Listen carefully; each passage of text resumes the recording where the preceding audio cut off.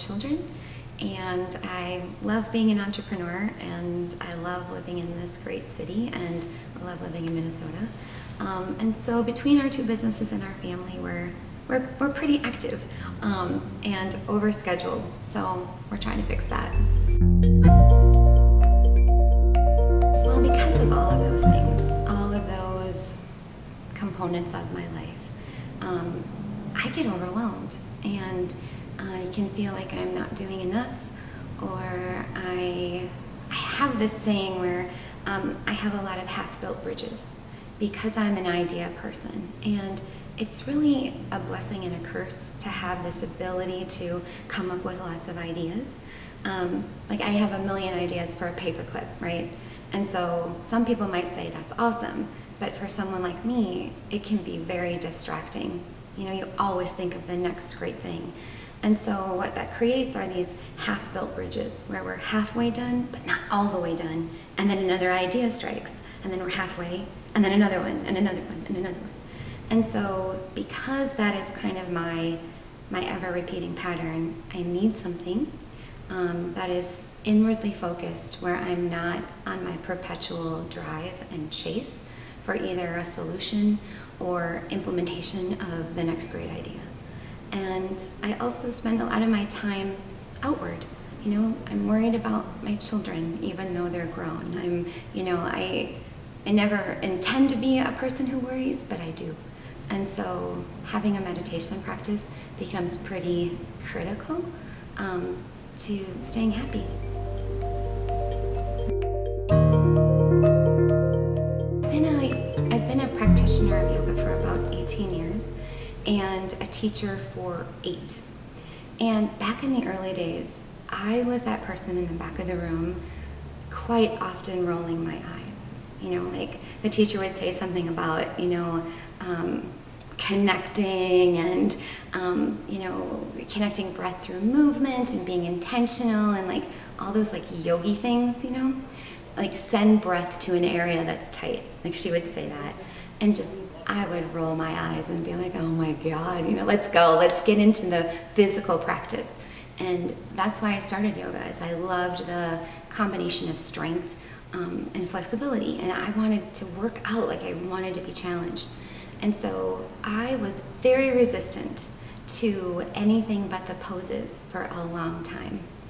And then when I, I don't know how I got my brain to open up, probably when I went to teacher training, um, and started to see things very, very differently in that the poses are just one teeny tiny element to the whole big yoga puzzle.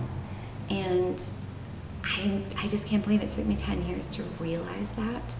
Um, and then once I flipped the switch and opened my brain to all of the possibilities, the importance and validation of having a meditation practice made itself very clear to me. And now I can't believe I ever, I can't believe I ever rolled my eyes. Like, I feel like she was an ignorant person back then, you know, me. But I forgive her because she was busy and her kids were little and, you know. But yeah, that's where it happened, probably at the beginning of teacher training.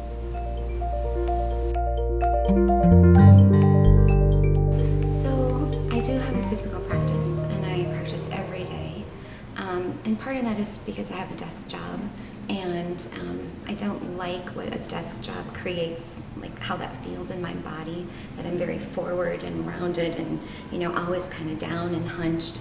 So my physical practice is pretty important in that opening up and then also that too helps solve my million uses for a paperclip. I can not have ideas for a while.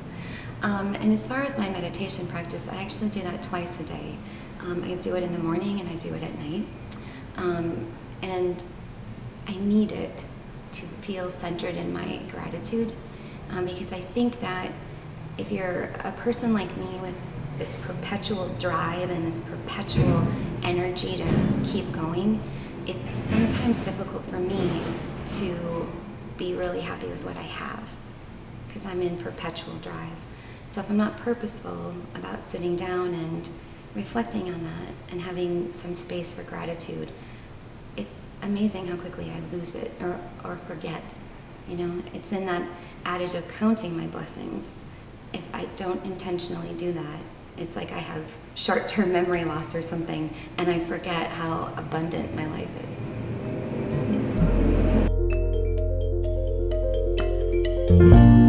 Before I started the practice, still all connected to this, like who I am and how I arrive. And it's that perpetual drive. I've had it my whole life. I don't ever really, I don't ever really calm down my body or my mind. Um, I don't know if it is connected to the time I was born or like my parents owned a business or I don't know. Like I don't know why um, I'm always on go. And not just like go meander, I'm on like go all the time. And I think that's hard on the people around me um, because I don't calm down and let moments be. And so my meditation practice helps me um, because without it, I never did it.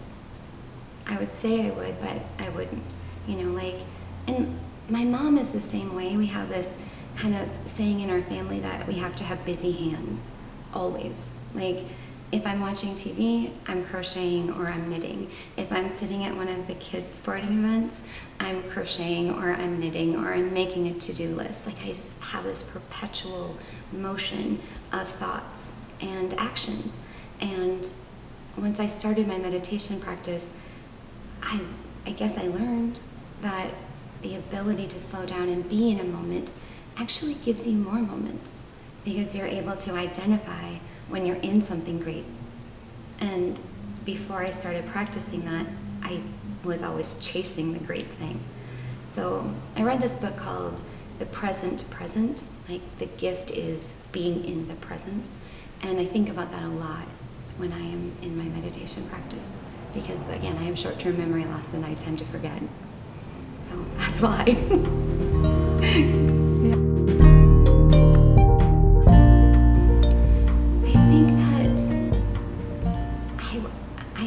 reflect a lot about wishing I could bring it to my kids, and and I do try. Um, but I think for all of us, you know, just like me, when I was rolling my eyes in the back of the yoga studio, we all have to get there on our own.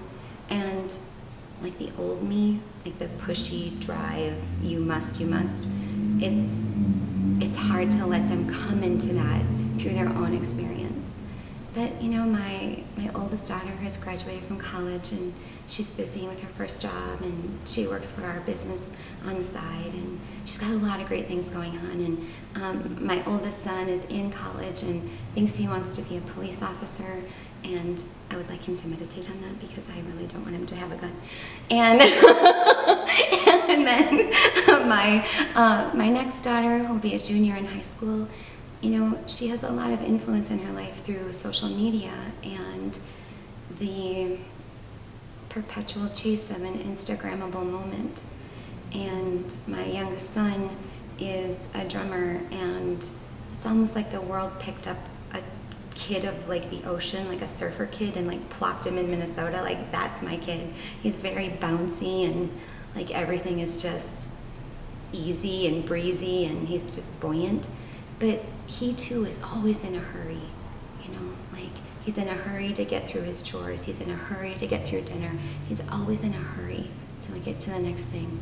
So, how it's affected me as a mom is that I wish I could bring it to them and I'm always looking for ways that I can do that, even if it's in the moments where we slow down, or even if it's in the moments where they have observation of my habits and my rituals and practices. I wish I would have done it more when they were little, um, but I do hope someday they'll find it for themselves. You know, so I guess to answer the question is, I'd like to bring it to them, and they might not know that I'm actually more patient than I used to be. I'm sure when they listen to this, they'll be like, Are you kidding me? and I'm better. it's fun to think about them, and yeah, they're great. I'm so lucky. And that's, you know, that's the meditation thing too, like the ability to slow down and you count your blessings like one by one, and then you're filled up. Yeah. Look at me, I'm totally bawling. Thinking about my children. That's so motherly or so Joleen Like, that's what I do. I get overwhelmed with how I feel about them.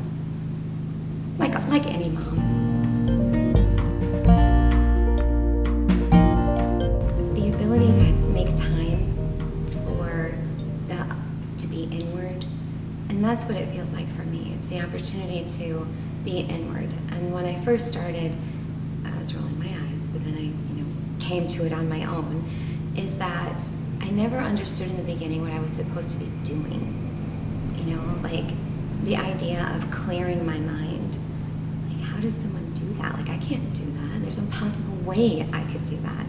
And I thought that I had to like try this void of like, you know, nothing's popping in there, which for someone like me was really, really hard. But I can slow it and I can focus on one thing. So for me, it's focusing on my breath in the morning, and at night, it's counting my blessings. And I think that in both of my businesses, it's easy to do the same thing. It's easy to think that we're not enough, we're not doing enough, we're not fast enough, we're not agile enough, like we're not enough. And, you know, with this ability to practice, um, it helps in my businesses too, in that, you know, for those of us who are on, in the online space, I think it's really easy to get distracted. And it's really easy to think that there's something out there. There's a silver bullet, there's a solution, there's a technique or a strategy that if you're not doing it, you're missing out. And I've finally learned that that's actually a lot of nonsense. And what wins is authenticity and consistency because consistency compounds. So, just like with a meditation practice, you can't, for me, I couldn't just dabble in it and do it every now and again.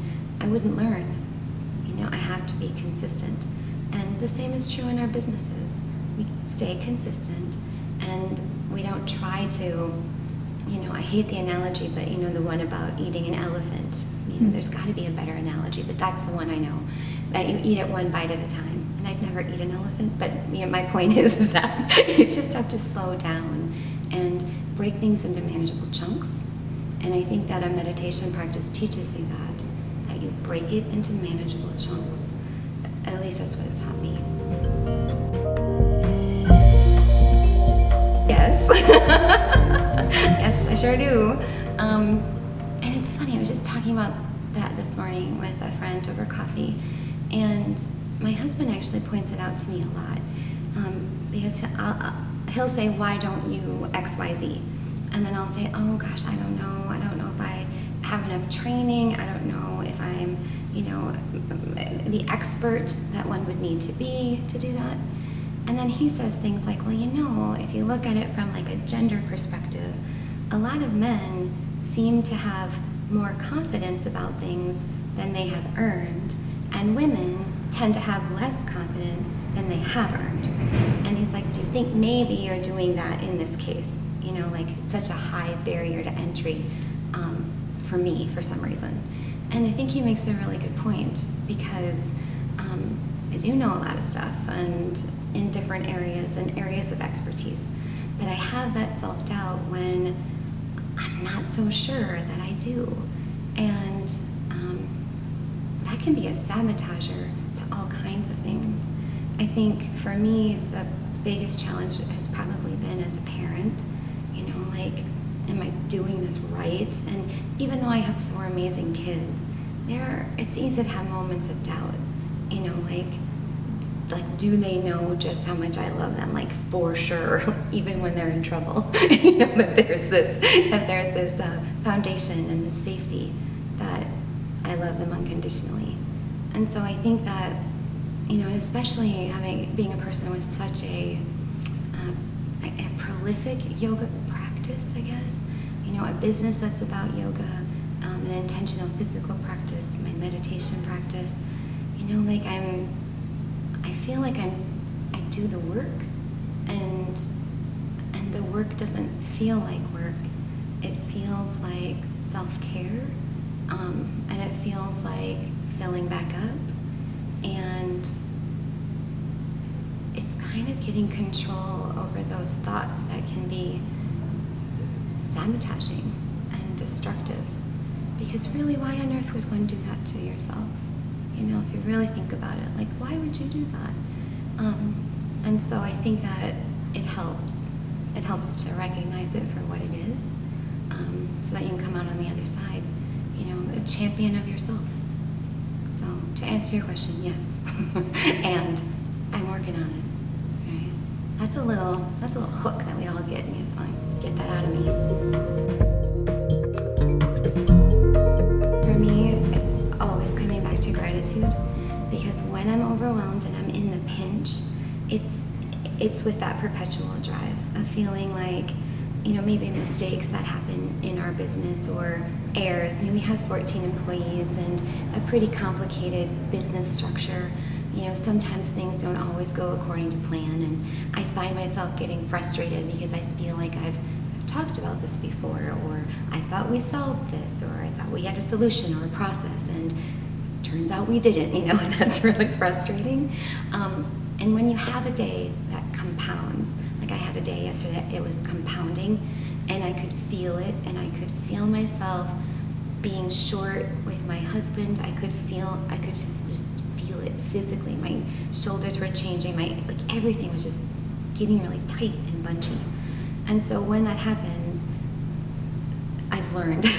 like if I push through, it will get worse. it won't just go away.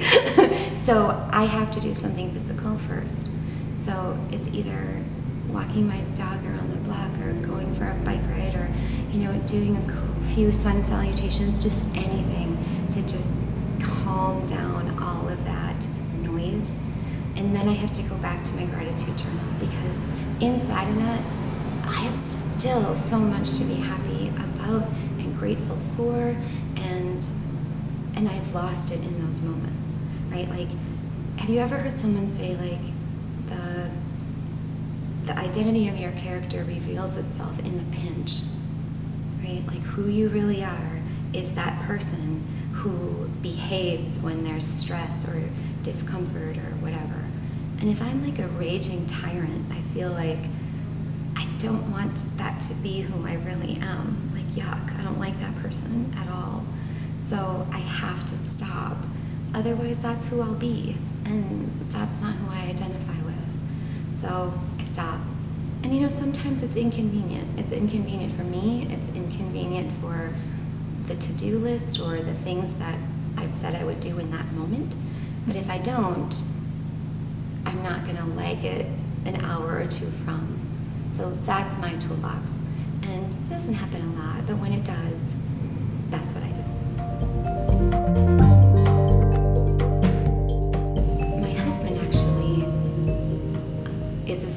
great inspiration because he's just like a good person, you know? Like, he was an Eagle Scout, if you know what that is. and he's just so morally sound. And he does the right thing even when the right thing is hard. And he, you know, honors, like, like the best way to describe Darren is he drives a BMW, but he composts, you know? so he's just like this perfect mixture of like self awareness and like a global citizen. You know, like he just, he's a good, good person. And he asks a lot of everyone else in their behavior um, because it's easy to fall into those behaviors of not being your best self. And he challenges all of us to be our best self. And I love that so much about him. And his love language is what he does. He does so much for so many people. And I hope the children are observing because he's giving them a really good model of how you be a really great dad and a really great partner. So I am a huge fan of Deborah Adele. I keep, I think I have four or five copies of the Yamas and Niyamas. In them. I, they all have like little flags sticking out of them. I'm dreaming of writing a course of taking other people through this amazing work, and it's so simple and yet so impactful. Um, I give that book to people I don't know if they appreciate it. You know, I've like written in the margin, like, try this. Um, but I love it. I love it so much. And I've read it 15 times and I learn something new every single time. And just the the manner in which you can learn to live a simple life just by following the yamas and niyamas and the examples that she provides and the thought-provoking questions of you know her journal prompts it's it's been such a great little find. And it's like an $11 book. And she's from minnesota and i think she's a grandma now and she's just this minnesota woman is speaking to this minnesota woman and i get it. Like i totally understand it. And i think that's why it's been a favorite. I think I would change that. It seems to me that if I if I hold up something in front of you that we both know is true, but you see something that I don't see, but it's right there in front of us. You know, I, I'm probably a complicated way of saying there are science. There's science and there's facts, like like facts and and you, and you can't break them. Like they're there, like you can see it right in front of you. So I don't want you to call it something else. Like I want us to agree that we see the same thing. And I think that that is what I would what I would change because I think that our political climate, neighbor to neighbor relationships, like like if you take climate change for example, right? Like one, a group of us look at the facts and data and see one thing, and then another group of us look at the facts and data, or don't look at the facts and data and see something completely different. So I would just, I would change that. There are rules. like when you see it and it's right there in front of you and it's a thing, that's the thing that it is. And then you have to decide what you're going to do about it instead of saying you don't see it at all. Because I think that we're in a battle over truth. And that's really frightening and scary. So that's what I would change.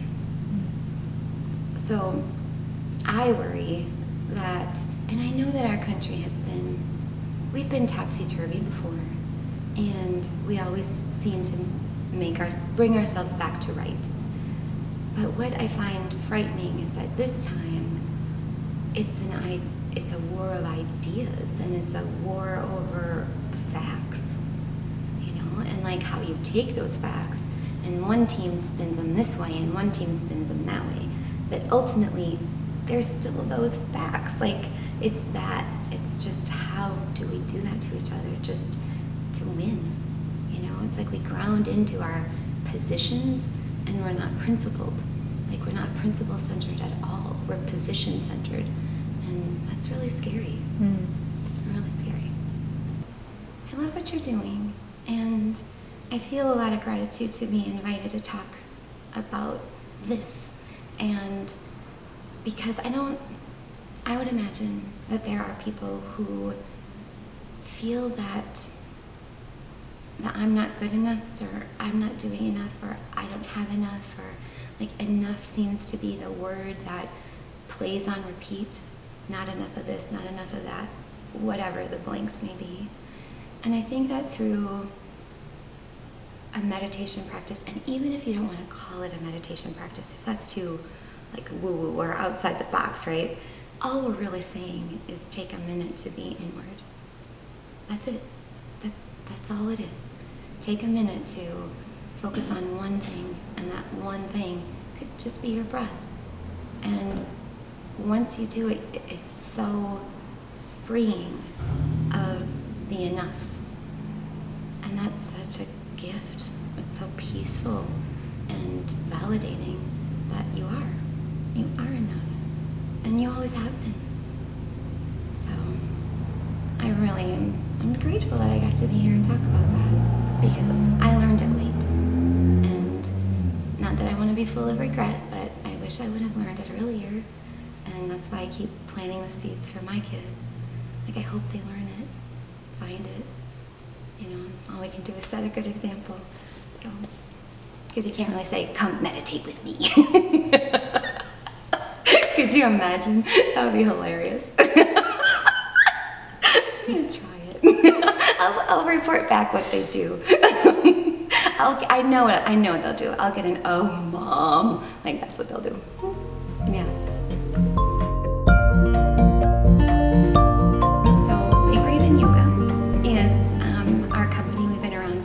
Few years now, and um, we actually make yoga mats. And our yoga mats are not your standard issue yoga mat.